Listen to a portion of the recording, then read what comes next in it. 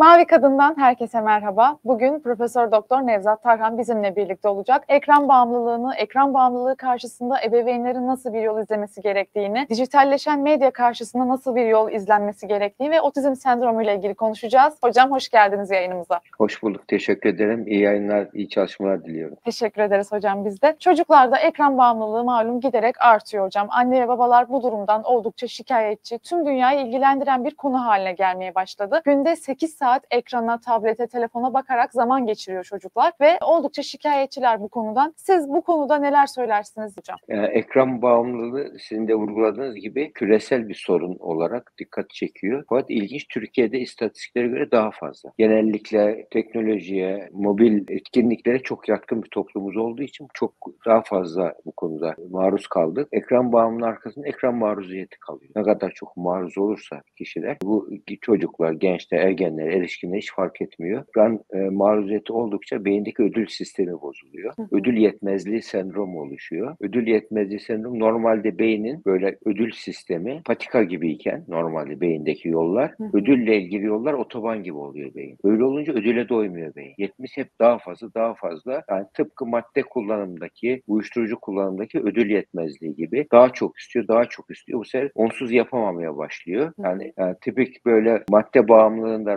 rastladığımız işte gittikçe tolerans geliştirme, gittikçe artan miktarda kullanma, yani yaşam günlük yaşam aktivitelerini bozma, planlanandan daha uzun kullanma, yani kişinin bununla ilgili gittikçe yoksunluk belirtileri olmadığı zaman krize girmesi, sinirlenmesi, yoksunluk belirtilerinin ortaya çıkması gibi belirtileri aynen madde bağımındaki belirtileri burada da rastlıyoruz. Tehlikeli kullanma, zararlı kullanma gibi. Tehlikeli kullanma nasıl? Trafikte kullanıyor mesela. Trafikte en çok kaza sebeplerinden birisi oldu ekran maruziyeti. Yani diğer tehlikeli kullanmada kişi iş hayatını mahvediyor, evlilik hayatını mahvediyor, gene de kullanıyor. Bütün bunlar aynı maddedeki rastladığımız bütün ödül, beyindeki ödül sisteminin bozukluğunun belirtileri. İleri yaştaki insanlar bunu bir şekilde altyapıları iyi olduğu için daha az dikkat edebiliyorlar. Gerekiyorsa değiştirebiliyorlar. Ama çocuklarda özellikle mesela 0-3 yaş arası çocuklara şu anda çocuk ruh sağlığı, bütün dünyadaki çocuk ruh sağlığı araştırmaları 0-3 yaş erine vermeyiniz diyorlar.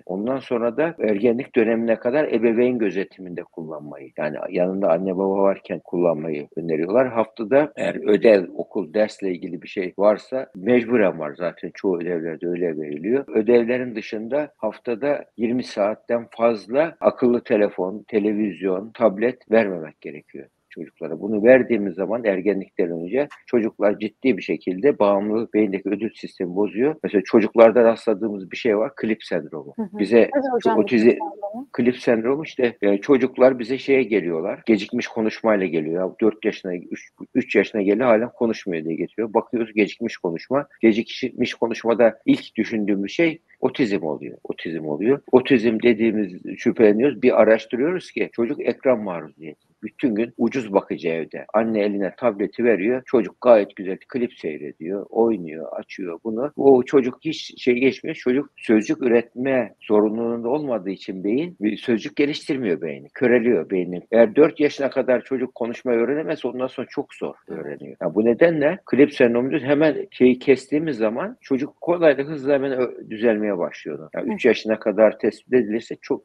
çözümü kolay onun. Ama gecikirse 4'ü geçerse çok zor çocuk. Yani e, beyindeki birçok yollar şey yapmış oluyor o zamana kadar. e, kapanmış oluyor. Bu nedenle yani çocukların gelişimini, sinir sistemi gelişimini etkiledi. Nöro gelişimsel bozuklukları artışındaki en önemli sebeplerden birisi de bu diyebiliriz. Şimdi otizme değindiniz. Otizm 2023 raporuna baktığımızda her 50 kişiden birinde görülüyor. Ama bu rakam gittikçe artacağı ve ekran bağımlılığıyla birlikte doğru orantılı bir artış göstereceği söyleniyor. İlerleyen yıllarda bunun iki kişiden biri yani her iki kişiden birinde otizme rastlanacağı söyleniyor.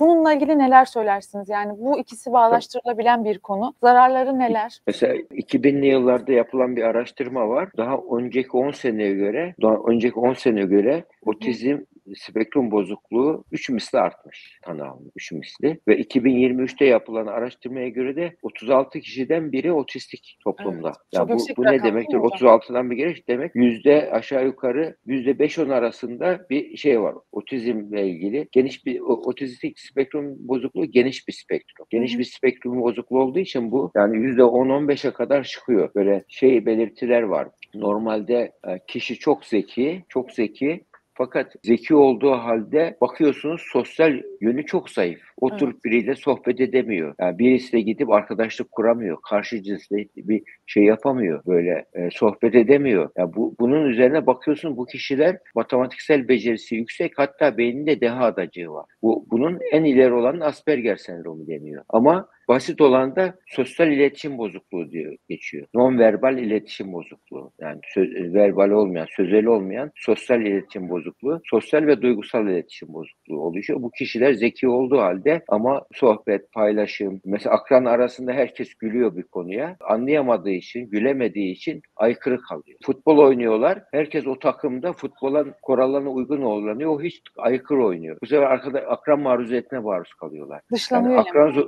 akran zorbalığına maruz kalanların büyük çoğunluğu, büyük çoğunluğu bu iletişim bozukluğu olan çocuklar. Bu, bu, bu çocuklarda şey ortaya çıkıyor. Yani ne oluyor? Öğrenemiyorlar sosyalliği öğrenemiyorlar, yalnız kalıyorlar, dolamıyorlar, huzursuz oluyorlar, kaygılı oluyorlar. Bu nedenle e, bu da bir artış sebeplerinden birisi de otizmin tanısıyla ilgili bilgilerin daha netleşmesi. Daha önce otizm denildiği zaman sadece böyle ileri otizmlere otizm deniyordu. Ama otizm atipik otizm adı altında otizm çok genişledi ve şunu da görüyoruz. Erişkin, yetişkin kişilerden bakıyoruz bilgisayar işi yapıyor meslek olarak. Devamlı bilgisayarla meşgul. Ya otistik gibi oluyorlar ya. Yani bizim ben çevremizde çalışan arkadaşlar arkadaşlar var bilgisayarcılar.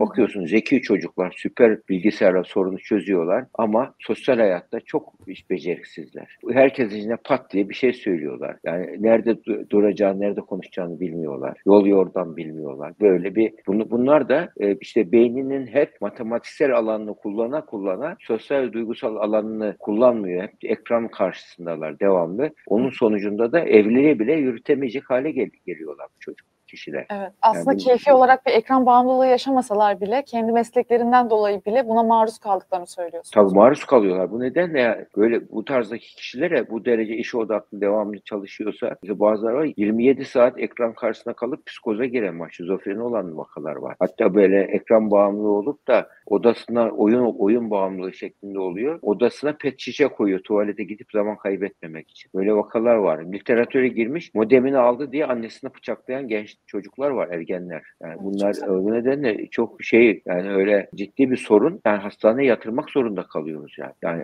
ergenlerden hastaneye yatırma vakalarının artmasının sebeplerinden birisi de bu e, ekran maruziyeti olduğunu rahatlıkla söyleyebiliriz yani. Evet.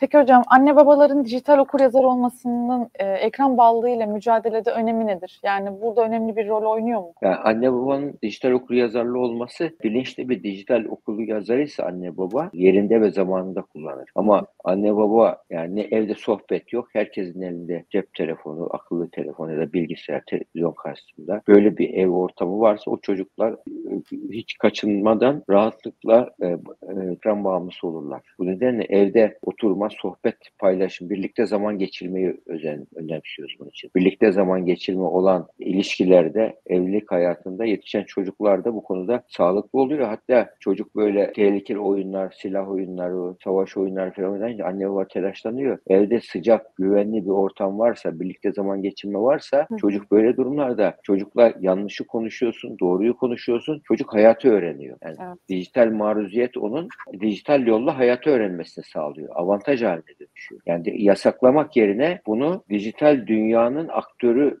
dijital dünyanın öznesi olmayı öğretelim çocuklara. Nesnesi değil. Nesnesi olunca dijital dünya, dijital kurallar seni yönetiyor. Hı. Halbuki sen kendi kurallarını oluşturursan hayatının öznesi olursun. İstediğin zaman girersin, istediğin zaman girmezsin. Dersin ödevini bitirsin, serbest zaman tanırsın. O zaman girersin. Yani zaman yönetimini yapanlar dijital becerileri yüksek de olsa onu olumsuza değil olumluya kullanmayı başarabiliyorlar. Bu nedenle teknolojinin kendisi bizatihi tarafsızdır. Yani teknolojiyi iyi yönde araba gibi, telefon gibi, uçak gibi hedefine uygun kullanırsan sizi amacınıza ulaştırır. Ama yanlış kullanırsanız hayatımızda en büyük bir insanın en büyük e, sermayesi nedir? Zaman, ömür sermayemiz. En büyük sermayemiz. Geri gelmiyor çünkü. Para geri gelebiliyor ama gelmiyor. Onu verimli kullanamak yani kaynak yönetimiyle yani zamanı bir finansal kaynak gibi e, doğru bir şekilde yönetmeyi öğretirseniz çocuğa hiç korkmayın. Hı hı. Ha, Zaman yönetimi, kaynak yönetiminin mantığı neydi? Önce stratejik hedefini belirleyeceksin. Ondan sonra burada seni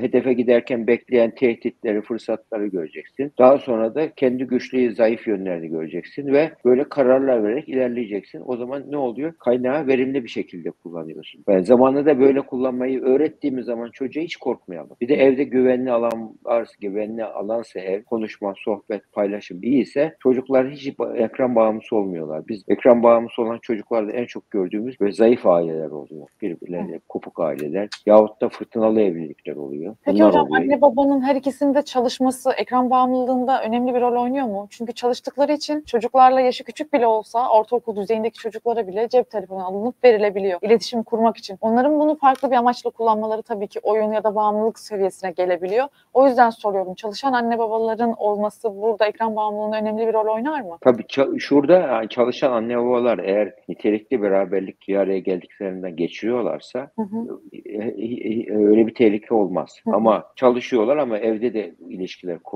Hı hı. yani evi otel gibi kullanıyorlarsa bu durumda ne olur? Çocukların çocuklar stres azaltma tekniği olarak ekran maruziyetine maruz kalıyor. Bak. Yani genellikle üç tane neden var. Madde kullanmada da ekran maruziyetinde de birisi stres azaltma tekniği. Mutsuzdur. Evde huzur yoktur. Oraya sığınır kendisini. Yani diğeri heyecan arayışı özellikle çocuklar Hı hı. heyecan arayışı böyle yani heyecan arayışı içerisinde girer oradaki o hareketlilik evin güvenli ortamında en güvensiz şeyleri yapar. İsimlerin ismini değiştirir, complicated kimliğini değiştirir. Her türlü yani özgür bir şekilde her türlü yalanı söyleyebilir, arkadaş edinebilir. Yani böyle sahte bir dünya oluşturur. Orada sahte bir tatmin oluşturur. Yani bu e, heyecan arayışı özelliği olan kişiler. Diğeri de merak duygusuyla. Yani merak duygusu özellikle genç ve çocuklarda en önemli duygu insanı ilerleten bir duygu, geliştiren duygudur. Yani yenilikçi fikirlerin ortaya çıktığı, girişimciliğin onu destekleyen merak ve hayret duyguları insanın geliştiren duygular. Duygular yoksa zaten insan ot gibidir affedersin. Onun için merak ve hayret güzel ama bunu iyi yönde kullanmayı öğretmek gerekiyor çocuklara.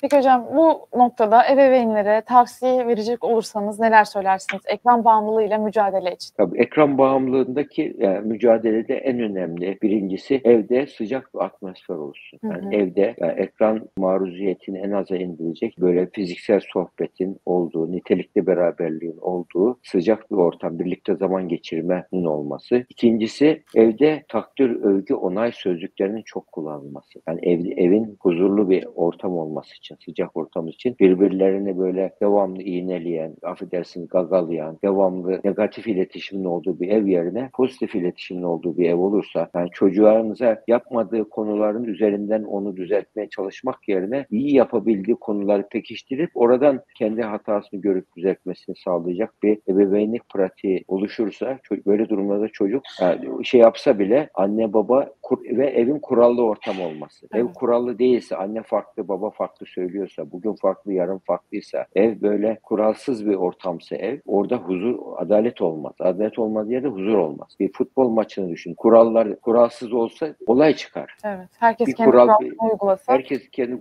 kolay çıkar. Evde de aynı şey geçer. Hayat böyle. Hayata insanın özgür alanı var. Özgür alanın kurallarını oluşturmak için insanlar bunu ailede birlikte ol geliştirecekler bunu. Evi Hı. kurallı ortam yapsınlar. Sıcak iletişim, sağlıklı iletişim kursunlar ve birbirlerine sev, değer ver, paylaş kuralını uygulasınlar. Birbirlerine sev, değer ver, paylaş. Bunu uygularlarsa ekrandaki olumsuzlukların hiçbir zararı olmaz. Hata yapsa bile çocuk biraz onun etkisinde kalsa bile tekrar toparlayıp dönüyorlar. Peki hocam hem otizmle ilgili hem ekran bağımlılığı ile ilgili hem ebeveynlerin bu konuda nasıl bir yol izlemesiyle ilgili bizlere çok aydınlatıcı bilgiler paylaştınız. Çok teşekkür ederiz yayınımıza katıldığınız için. Ederim estağfurullah. İyi yayınlar, iyi çalışmalar. Teşekkür ederiz hocam.